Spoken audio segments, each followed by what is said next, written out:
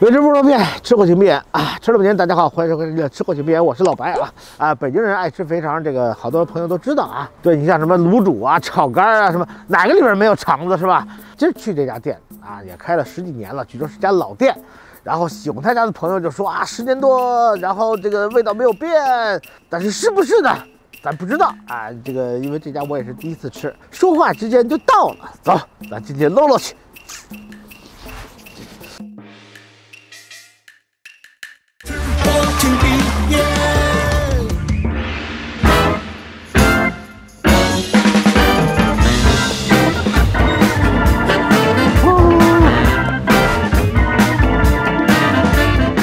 店了，我们点个菜啊，马上点个菜。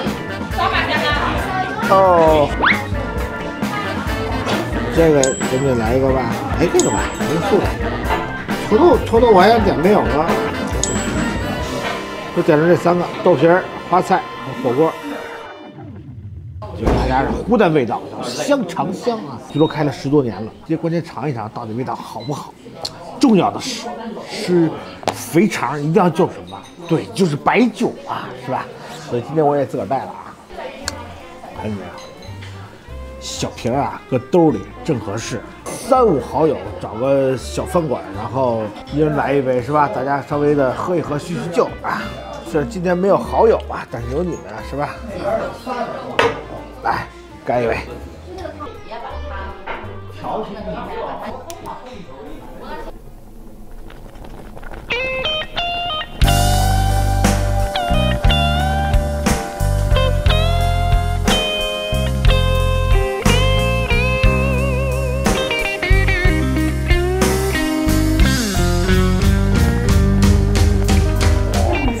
哇，看着不错哦。天津啊，确实他家这个味儿跟别人家不一样。首先，这个肠子洗的真的非常干净，没有特别杂的那种脏气味儿。然后口感还是在线的，吃起来比较 Q 弹。肠子呢，咸咸的、辣辣的，典型的湖南的那种味道，的确有过人之处，值得喝一杯。来，他家挺有个性的，就那几个菜特别叫座，然后这吃了好长时间，而且他家这么长时间了，不开外卖，就坚决不外卖。你想吃，哎，就必须到我这儿来。他家最早这锅子据说是五十八一锅，五十八、九十八、一百零八，现在涨到一百六十八，有一点小贵啊，一百六十八，你买多少根肠子呀？但尝这个味儿啊，确实还不错。这个因为真的，你自个儿买两根肠子在家做，你未必能做出这味儿来。这味道很湖南，不是湖南，味道又重。老白个人也非常喜欢，尤其就酒，咱家酒其实也是系出名门，产地大家看啊，八达岭酒业公司就是八达岭酒厂啊。八达岭在北京什么地儿呢？北京有个地方叫延庆，在北京的西北，到明朝的时候开始就有好多酒厂了，大概有八九十家吧，都在那儿。后来一个人家兼并，最后形成八达岭酒厂。最早八达岭酒厂也是出二锅头的，而且是特别有名的二锅头。我爷爷那辈儿的喝八达岭二锅头，咱们今天这四友酒，实际上就是当年八达岭二锅头的亲师弟。不过我们是浓香型的，二锅头是清香的啊。这个肥肠的那种特殊的味道，然后就上我们这个浓香的酒，相得益彰，我觉得配合得特别合适啊。其实我个人和八达岭还是有一些渊源的啊。大家知道吧？八达岭是长城啊。当年我考导游的时候，当时背的那个词儿就是八达岭。为什么八达岭呢？就是四通八达的意思。那地方有山有水，然后人杰地灵的，然后也出好酒啊。所以为什么那那那么多酒厂？就是这原因，因为当地水好啊。来，干一口，尝尝大碗花菜啊。可以，可以湖南。这大碗花菜这个菜呢，特别普通的一个饭馆菜，那个肉味儿和辣味儿渗在花菜里了，花菜本身的苦味儿、涩味儿没有了。来，高兴啊，再喝一个。好酒。来，把它这个井冈山豆皮儿下去啊，涮一涮啊，多煮一会儿。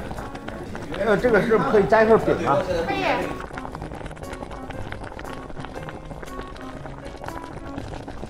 这就叫团结湖。为什么叫团结湖呢？是因为这边上有一团结湖公园。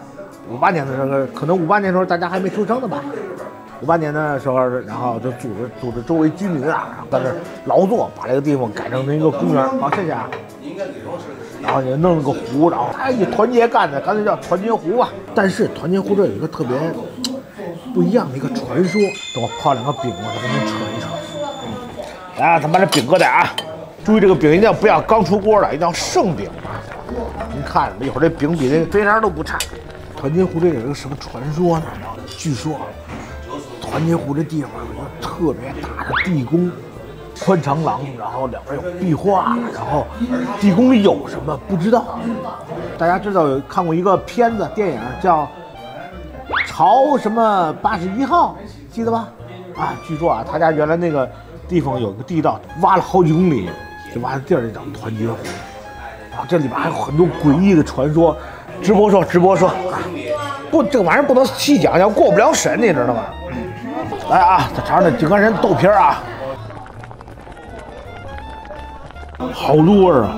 怪不得人家推推荐他家这个井冈山豆皮儿呢，浓浓的这个汤的味道，然后有该有的咸味儿，该糟的地方糟，然后该韧的地方韧，整体上是非常入味儿的。哎，这个很神奇。咱咱尝个饼啊，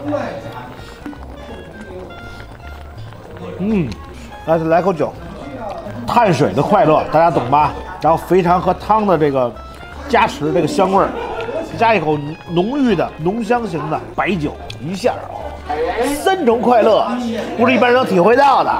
咱家这个是有，不但是口粮酒，还是纯粮酒啊，浓香型，适合大部分的菜啊什么。喝一口，酱香浓郁，哇，美，好吃的辣椒芯儿都掉出来了。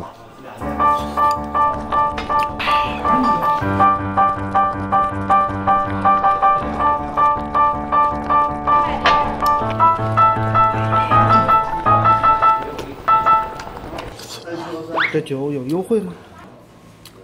今天到我店里下单，领粉丝专享券，六瓶装拍下立减六十元。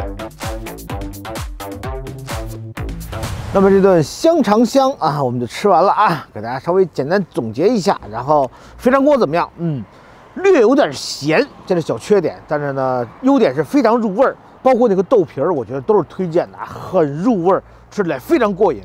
然后他家的那个大碗花菜也可以稍微点一下，没有什么苦味儿。我点这几个菜一共花了二百二十二，但我点的比较二啊。那这期就是这样，世界很复杂，但至少在吃香肠香的时候，我们不会说谎。嗯。